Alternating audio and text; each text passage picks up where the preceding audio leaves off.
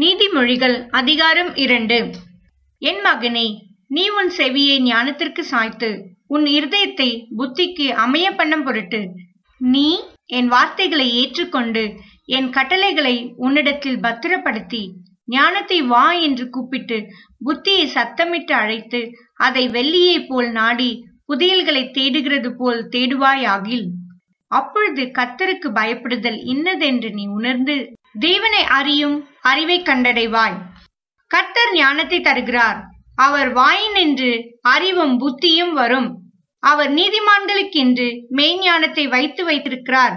உத்தமமாய் நடக்கிறவர்களுக்கு அவர் கெடுகமாயிருக்கிறார். அவர் நியாயத்தின் நெறிகளை தற்காத்து தம்முடைய பரிசுத்தவான்களின் பாதையை காப்பாற்றுகிறார். அப்பொழுது நீதியையும் நியாயத்தையும் நிதானத்தையும் சகல நல்வழிகளையும் அறிந்து கொள்ளுவாய்.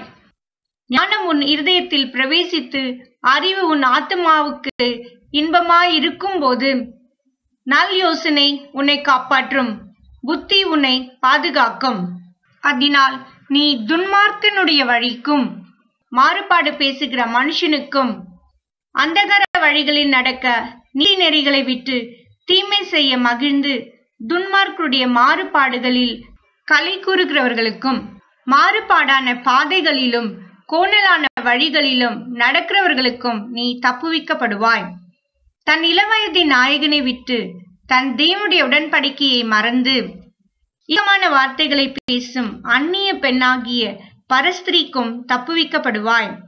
அவளுடைய வீடு மரணத்துக்கும் அவளுடைய பாதைகள் மறித்தோரிடத்திற்கும் சாய்கிறது. அவளிடத்தில் போகிறவர்களில் ஒருவரும் திரும்புகிறதில்லை.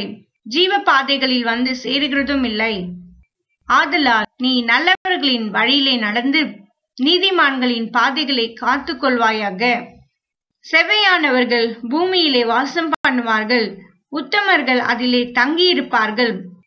துன்மார்க்கரோ பூமியிலிருந்து அறுப்புண்டு போவார்கள்.